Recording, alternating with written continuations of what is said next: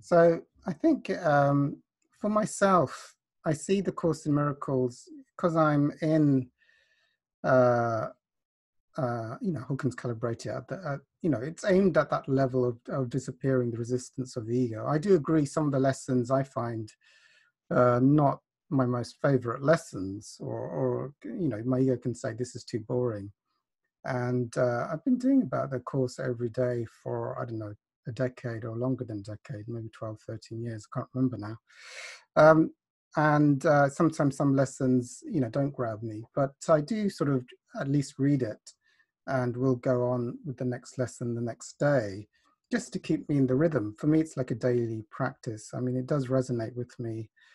And with, you know, Hawkins' testimony that he let go of 23 illnesses and had so many miracles, and I had so many miracles uh, my kidney with my kidney failure, gout, asthma, and other miracles happening. I do keep it going on, on in the background. I'm a member of 12 steps, and I'll usually do a step 10 uh, nearly most days, even though actually in the coronavirus it's been a little bit less diligent doing a daily step 10.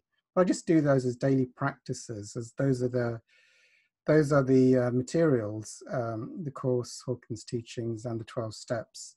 You know, like it's a bit like steps 10, 11, and 12 um, I think if a spiritual seeker thinks, you know, the course is no longer for them, you know, that's fine.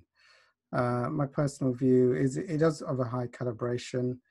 I think it is just good generally um, to do a daily lesson, uh, but I can understand people not wanting to um, do a daily lesson. I mean, sometimes, you know, daily lessons for me, I don't really do them properly but I will at least read it and move on to the next days, just so that I'm the rhythm of that commitment to 365 lessons uh, every day, because it just keeps up a daily routine. I think daily routines and having a program you like are important. I don't think it doesn't have to be the course if it doesn't resonate with you. It doesn't have to be 12 steps. Just like the course has daily lessons and the 12 steps has 10, 11, and 12, which are the maintenance steps to keep you in those vibrations you can get to, whether be via the 12 steps or the course, you know, that daily practice and that daily commitment, I think is important in this world where it's easy to pick up and hook into the world and negativity and get pulled back down into lower vibrations. I think for every spiritual seeker, I mean, I want to be in those states of infinite grace and flow. So for me, the course, um, I do the course lessons every day. Um, uh, my teacher is Hawkins. Um, I do the 12 steps. I, you know, I had food addiction and other areas of addictive behavior to keep those under check. But for the, the oneness and the stillness and the flow states, uh, I do the course, which I sort of see uh, as a higher, a higher source of material for dissolving all dualities within me.